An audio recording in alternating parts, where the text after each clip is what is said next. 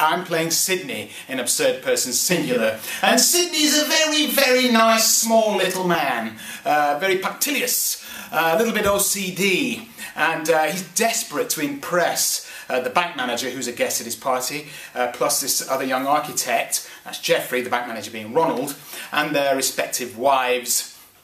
And uh, the first act starts in my kitchen with my wife, Jane, who's terribly nervous starts off, I mean, there's a very, very definite class divide between Sidney, uh, Geoffrey, and Ronald. Um, they're doing quite well when the play starts, and Sidney's and Jane's house, it's actually quite dowdy, and even though it's very neat, it's um, they're very much working class.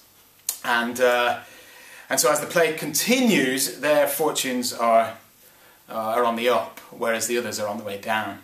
And I think uh, Sidney is a very uh, fantastic example, a great prototype of one of Thatcher's kind of soldiers who uh, he really grasps that kind of like um, you know capitalist let's make money. Yes the curve itself is an incredible building. Absolutely fascinating and fantastically inclusive. I love the fact that uh, members of the public in the foyer in the bars in the areas can actually see what's through the glass can actually see what's going on backstage. Great great device into getting people to uh, to see how the theatre works. So, a person singular. Um, I'm playing a, a, a, character called Geoffrey, who um, is a little bit of a, a, rogue. He's got a bit of a roving eye, and he's clearly in a, a marriage that's not working. As you'll discover, most of the people in the play are in marriages that don't work. Um, and it's uh, set over three Christmases uh, in uh, people's kitchens. And uh, yes, it's the, the rise and fall of various people's hopes and dreams. Hello, I'm Tracy Ann Oberman and I'm in Alan Ayckbourn's Absurd Person Singular and I play the character of Eva. Think that Alan Ayckbourn is like a modern day Chekhov, which he is because he understands all the frailties of human nature, which are both ludicrous, hysterical, but also deeply sad. Character that has the biggest journey through the play. Um, it's very, very funny and also she's very, very suicidal. And uh, suicide, Christmas, marriage breaking up. It sounds hilarious, doesn't it? But it is. Uh, Paul Kerryson's directing, fantastic director, really good, um, has a fantastic track record at Curve, and uh, it's going to be very interesting to see this play, which is quite an intimate, small piece, put on in the main house, and if anyone can do it justice, he will. He's um, somewhat challenged in pretty much everything he does. He postures a great deal.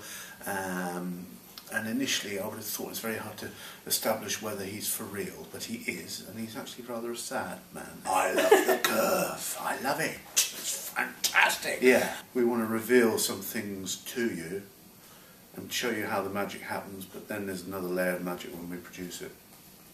Marion is uh, basically uh, an alcoholic, uh, very well to do, married to a banker, um, but she's also quite funny without realising it. I know that most people, really, um, very snobby.